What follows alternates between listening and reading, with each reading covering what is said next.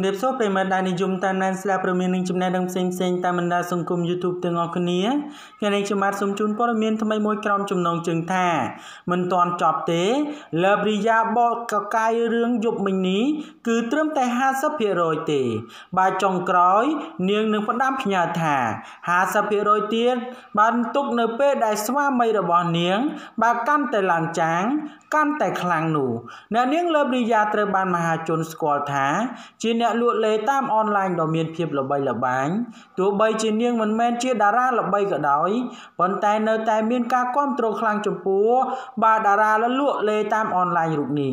រីយ៉ាតែងតែអួតនិងអះអាងថាបើស្វាមីរបស់នាងគឺជាមនុស្សល្អដែលកម្ររកបាន នៅក្នុងនោះផងដែរព្រមទាំងស្អាតបើចរិតរិទ្ធពីអាកប្បកិរិយាគាត់ស្អាតគ្រប់យ៉ាងប៉ុន្តែជាចុងក្រោយ បាននាងបានអះអាងថាដោយសារតែតាមនឹងស្រឡាញ់ស្វាមីរបស់ខ្លួនសុកចិត្តឈប់គោរពសាសនាបានលែងគោរពឪពុកម្ដាយបាទខ្មោចជីដូនជីតាដែលបានចែកឋានទៅកាន់បាទប្រាក់លោកខាងមកនាងបានរੂអង្កែចោលអស់លែងមកសែនចិនបាទបងប្អូននៅខេត្តតកែវក៏ព្រោះតែតាមស្វាមីសាសនាស្វាមី នៅក្នុងនោះផងដែរត្រូវបានគេដឹងថា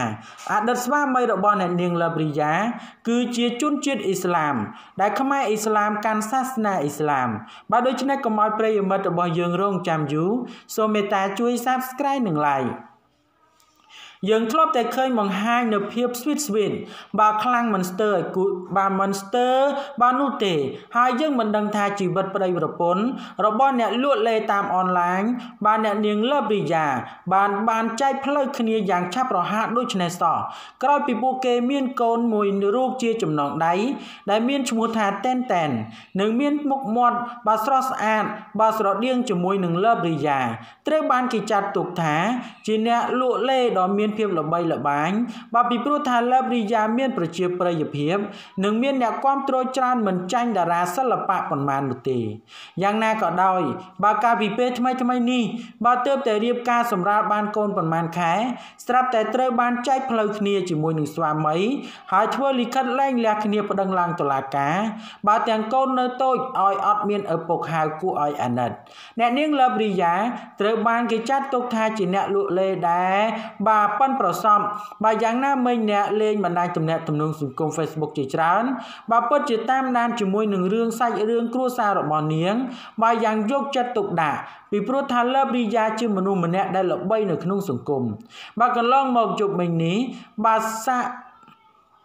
សម័យខ្លួនទាំងសងខាង បានចេញវីដេអូបកកកាយរៀងរៀងខ្លួន បើពាក់ព័ន្ធជាមួយនឹងរឿងរ៉ាវបើមកខាងមកខាងយកត្រូវរឿងរឿងខ្លួន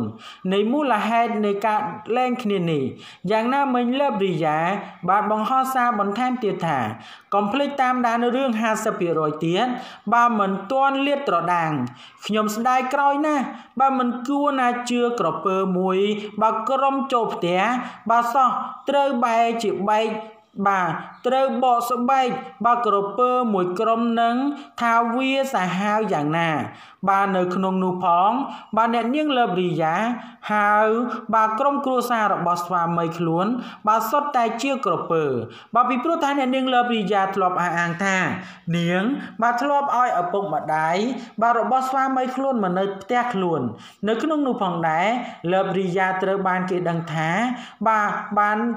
ស្រឡាញ់ក៏ដូចជារៀបអាពាហ៍ពិពាហ៍ជាមួយនឹងស្វាមីរបស់ខ្លួនអស់រយៈពេលប្រហែលខែមកនេះហើយនៅក្នុងនោះផងដែរលារីយ៉ាក៏បានពោពួរបានកូនស្រីសំណប់ចិត្តមួយរូបបានកូនស្រីប្រហែលខែ បារីយ៉ាត្រូវបានលែងលះនិងបែកបាក់គ្នាជាមួយនឹងស្វាមីបាទដោយសារតែមូលហេតុបាទតាមការអះអាងរបស់រីយ៉ាបាទគឺប្តីរបស់នាងខឹងចោះចោលខឹងចោះចោល